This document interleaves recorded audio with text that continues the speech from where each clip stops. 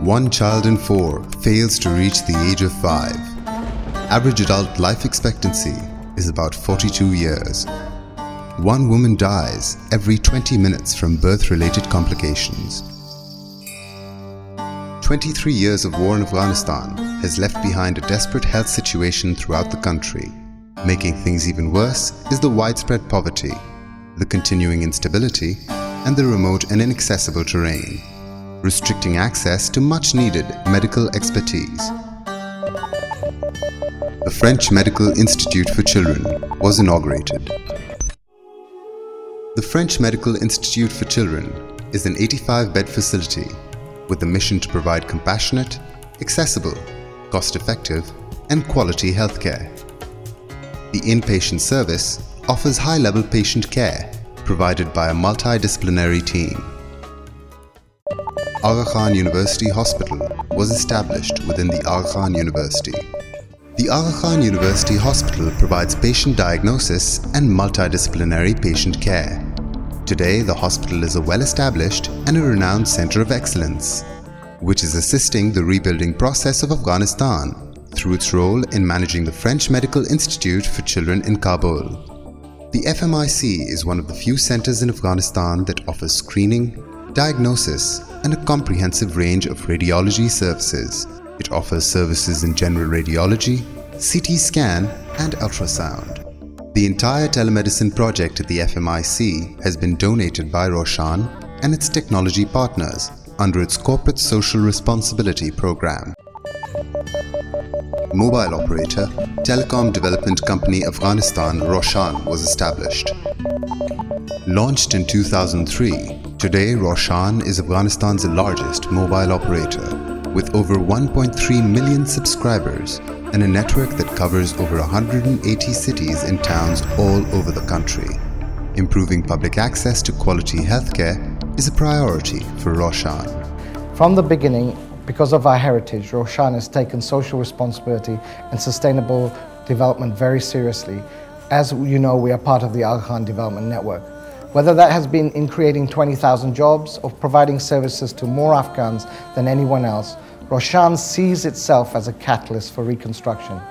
Afghanistan has amongst the world's highest infant and maternal mortality rates. There's only one doctor in every 10,000 people, and in some districts there's not even a single doctor. So with this in mind, what could we do and how could we do to do something about this? The answer was a telemedicine project.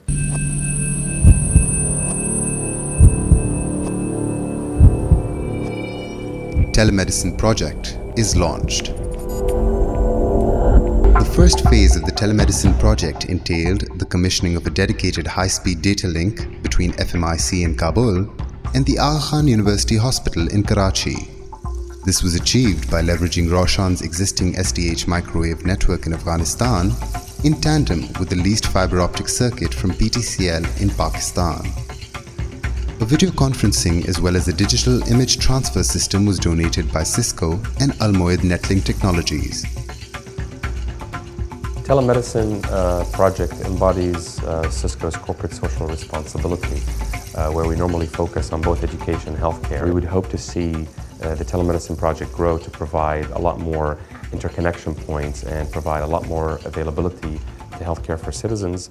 The video conferencing system will enable patients and physicians in Kabul to interact face to face and in real time with specialists in Karachi for training and diagnosis. Most of our people uh, or in need of uh, medical services every day. Uh, unfortunately, the level of medical services is low. Our government is also working on the uh, concept of uh, introducing telemedicine in Afghanistan. Roshan uh, has taken the first initiative in, in this field. I think this is a, an excellent initiative which will bring great benefits for the people of Afghanistan. This telemedicine solution encompasses the digitization of radiological images in Kabul, such as X-rays and CT scans, for transfer to Karachi, where specialists can provide an expert diagnosis.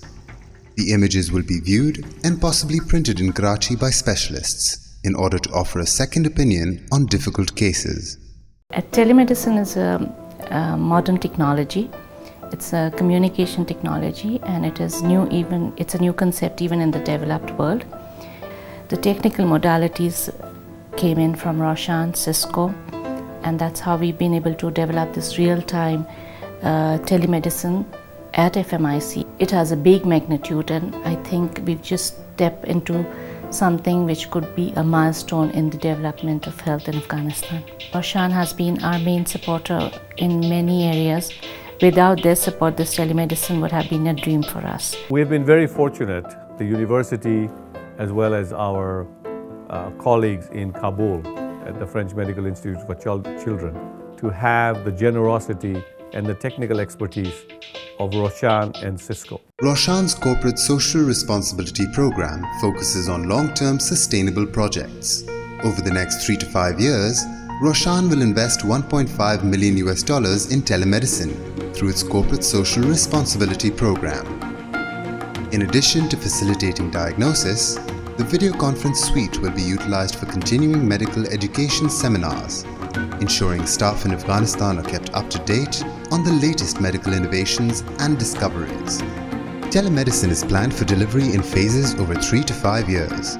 During this time, many Afghan regional hospitals are scheduled for connection to the FMIC and through the FMIC to the Aga Khan University Hospital. At a later stage, the opportunity for connections to centers in Western Europe and America are also very much a possibility.